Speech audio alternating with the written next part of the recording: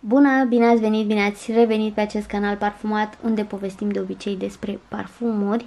Sper că ați avut sărbători frumoase alături de cei dragi, că v-ați odihnit și v-ați liniștit pentru că am avut o vacanță scurtă și o luăm de la capăt, gata. Uh, nici nu știu cu ce să încep, am multe de spus și nu vreau să fac un intro prea lung, uh, dar Aveam de gând să vă povestesc despre favoritele lunii aprilie și pentru că nu am avut timp și am, uh, mi-am luat o pauză, ce să mai, am luat o pauză scurtă, cred eu că a fost bună pentru toată lumea, pentru că și voi ați avut treburile voastre, cu sărbătorile, poate ați fost plecați și așa mai departe, așa că n-am mai filmat, o să fac favoritele primăverii, Uh, pentru că tot am sărit peste serie, am sărit peste parfumurile săptămânii, peste favoritele lunii și așa mai departe. Nu, nu am reușit să mă organizez prea bine, așa că, uh, după cum vă spuneam, o să fac favoritele primăverii. Da, și pentru că nu știam cu ce să încep și chiar am nevoie de ajutorul vostru să-mi spuneți ce vreți să vedeți în continuare pe canal, ce clipuri vreți să mai fac pentru că sunt în pană de idei, M-am gândit să vă povestesc astăzi despre parfumuri pe care le-am purtat de pe 1 mai și până acum și parf despre parfumuri pe care urmează să le port. Trecem la parfumuri, să știți că atunci când a fost perioada rece, când au fost acele ploi care nu mai treceau parcă, am purtat foarte mult biancolate și doar pe el l-am purtat, mult de tot. Uh, ăsta este un minus când ai o colecție mare de parfumuri, nu poți să te bucuri de foarte multe, dar încercăm. Și atunci mi-am făcut eu o selecție de care sper să mă țin. De obicei îmi aleg parfumul zilei căutând printre parfumuri și ce mi-atrage atenția, ce simt să port, aia port, dar ca să reușesc să mă bucur de mai multe parfumuri din colecție, îmi fac așa o selecție de șapte parfumuri la început de săptămână și încerc să le port pe ele.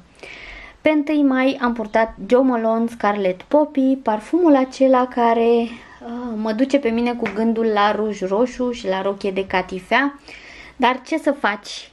Că eu n-am purtat niciodată rochie de catifea și nu aștept uh, uh momente din astea, nu aștept uh, evenimente. Uh, Așa că m-am bucurat de acest parfum care este unul foarte frumos, este un parfum pudrat, um, elegant, dens și bogat și dulceag și m-a inspirat, m-am lăsat inspirată de un buchet mare de maci um, sau m-am lăsat influențată, m-am lăsat inspirată, cum vreți voi. Este un parfum foarte frumos de care m-am bucurat eu pe 1 mai. Am purtat și Angel Nova, mi se pare cea mai potrivită perioadă pentru a purta acest parfum. Este combinația aceea de uh, lici, trandafir și zmeură. Avem și o bază lemnoasă. E foarte frumos parfumul acesta, îmi place foarte mult. Dacă nu vreți să vă luați Delina, parfumul acela super, super popular, și nu vreți nici o clonă, puteți să mergeți către acest uh, Angel Nova. Mi se pare un parfum foarte reușit și foarte frumos, foarte feminin, potrivit pentru primăvară, îmi place de nu mai pot și este foarte puternic și persistă super, super bine. Dacă vă place combinația de trandafir cu lici și cu smeură, cu baza aceea lemnoasă, e ce trebuie. Parfumul pe care l-am purtat în prima zi de Paște este acest I Don't Need a Prince by My Side to Be a Princess de la Kilian, un parfum pe care îl iubesc de nu mai pot, pentru că are și chestia aceea gurmandă, dulce, dar este foarte bine echilibrat de uh, citrice, fructe, uh, ceai, încât să nu fie foarte dulce, intoxicant și să nu fie un parfum pentru perioada rece. Mi se pare foarte bun și pentru perioada rece, dar și pentru perioada caldă. Are un iz așa de bezele foarte, foarte plăcut. V-am mai spus eu ca și cum bagi nasul într-o pungă cu bezele și simți aroma aceea, um, nu știu, aroma de bezele, cu siguranță o cunoașteți. Îmi place foarte mult parfumul acesta și întind mâna după el destul de des. Mi se pare foarte versatil și foarte frumos, persistă foarte bine pe mine. Um, chiar, uh, chiar vi-l recomand. Nu știu dacă se mai găsește, chiar nu știu. Un parfum pe care l-am tot purtat în ultima perioadă și o să-l port în continuare pentru că sunt obsedată de aroma asta este L'instant de la Guerlain. Este mm, un parfum bogat, de calitate, uh, un pic sexy, este un pic animalic, floral, vanilat, da, vanilat. Simt multă vanilie în acest parfum. Pe lângă această ambră și flori, simt vanilie și nu știu de ce pentru că nu este listată dar eu am mai testat parfumul dintr-o mostră și atunci am simțit la fel că are vanilie, habar nu am. Și oricum, vedeți că s-a închis foarte mult la culoare. Asta dă de înțeles că are vanilie. Uh, bine, nu neapărat, zic și eu, parfumul acesta s-a maturat pentru că este o ediție veche. Vreau să vă spun că aroma asta unică pe care eu o simt în el o regăsesc și în suflet de parfum, ceva pe acolo și încă într-un parfum, tot de la Guerlain, care îmi scapă de sigur acum, dar o să vă scriu la editare pe ecran despre ce e vorba și acela îmi place foarte mult, doar că este foarte scump. Și după cum vă spuneam, ador parfumul acesta și vi-l recomand cu tot dragul dacă vă vreți un parfum adevărat. Nu știu, E, e superb parfumul acesta. Trecem la următorul parfum pe care l-am scos de la naftalină pentru că vreau să-l analizez și să-l port în perioada următoare. Un parfum care are o sticlă minunată. Este vorba despre MCM, o de parfum, un uh, parfum cu o deschidere fructată, spun ei fructată, o deschidere de zmeură, avem uh, bujor, avem uh, iasomie și o bază de vanilie, santal, uh, mușchi și așa mai departe și ambroxan. Mm, eu nu prea regăsesc notele pe care le văd pe Fragrantica în acest parfum. Este un parfum care nu m-a convins că își merită bani.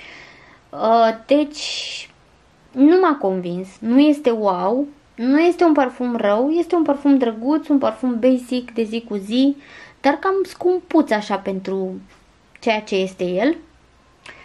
Sticla este foarte frumoasă, este adevărat, arată foarte bine pe raft, am văzut și niște flencăre și care nu m-au tentat pentru că nu m-a dat pe spate parfumul acesta.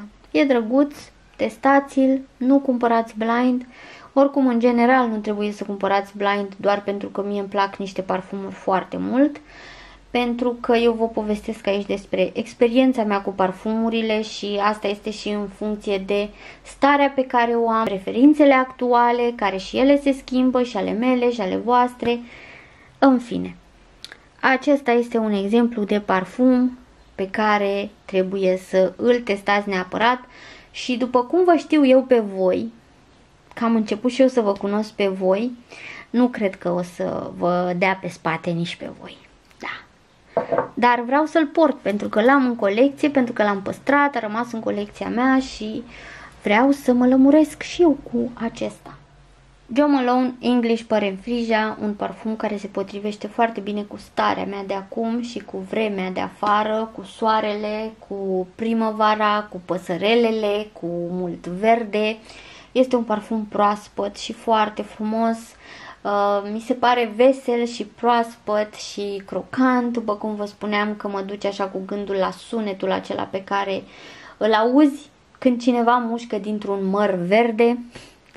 Este foarte frumos parfumul acesta, îmi place foarte mult cum se usucă, are o deschidere fructată, are frezie, trandafir și o bază așa clean, um, mm, proaspătă. Deci este un parfum care mie îmi place foarte mult și pe care chiar vreau să-l port în perioada următoare. Și ultimul parfum despre care povestim astăzi este Burberry London. Un parfum care mă face să îmi doresc în colecție un trench. Mi se pare că se potrivește și sticla asta mă duce cu gândul acolo. Uh, chiar așa, nu am un trench în colecție pentru că nu mi se potrivește, zic eu. Îmi plac acele trenciuri uh, bej, crem și mie nu prea mi se potrivesc având pielea foarte albă.